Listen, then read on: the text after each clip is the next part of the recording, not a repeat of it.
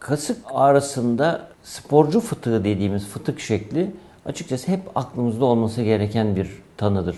Çünkü sporcu fıtığının tanısının konması güçtür. Ee, öncelikle onu aklımızda tutmalıyız ki o yönde gerekirse e, kanalize olabilelim. E, sporcu fıtığında e, tam kasık bölgesinde ağrı olur. Belli hareketlerle ağrı artar. Sporcu ıkındığı zaman, öksürdüğü zaman o bölgede bir ağrıya işaret edebilir.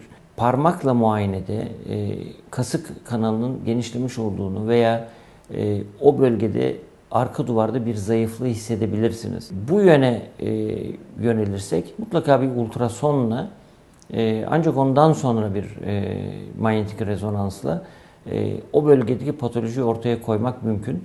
Sporcu fıtığı tanısını koyduktan sonra da e, eğer konservatif tedaviye cevap alamıyorsanız cerrahi tedaviye çok da geciktirmeden yapmak gerekir.